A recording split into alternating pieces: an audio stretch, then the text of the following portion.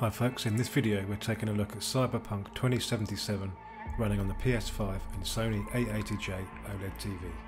We'll also take a look at the PS5 graphics settings options available for this game. I should point out that all footage in this video is from the open world, so there's no story spoilers here. The recent 1.5 next gen update finally delivered a native PS5 version of this game. It's fair to say that Cyberpunk launched in a pretty rough state, so a lot of people have been waiting for this update.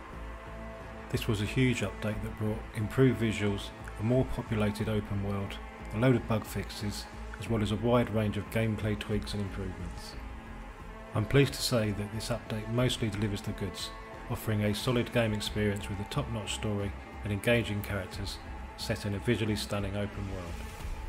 Really, this is the state Cyberpunk should have been in at launch. The soundtrack and general sound design are another really strong point of this game.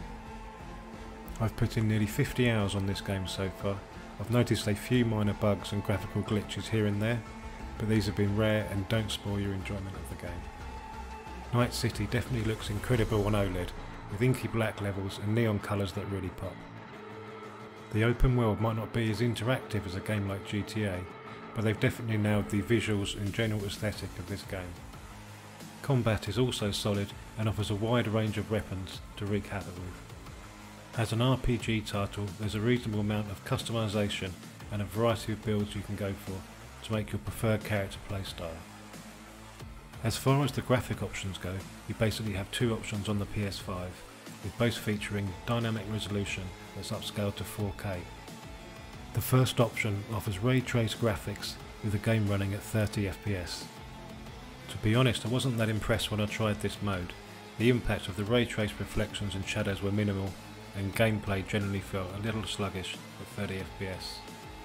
For me, the 60 FPS performance mode is the way better option. Whilst you lose the ray tracing, the game still looks fantastic and is simply more enjoyable to play. Combat, driving and general gameplay is just more fluid at 60 FPS, so I think this mode will be the smart choice for most people. All in all, Cyberpunk 2077 is now well worth checking out, offering awesome visuals and soundtrack, alongside an excellent story with solid side missions, all set in an atmospheric open world. I know there's some major expansions of this game planned, so this Cyberpunk story is one that's set to run for the next few years. What about you guys? What are your thoughts on this game? Have you played Cyberpunk on PS5 or are you planning to? Let me know in the comments. That's a wrap for this video. I've been Tom Hyphen. Like and subscribe for more. You can also find me on Instagram and Twitter. Thanks for watching.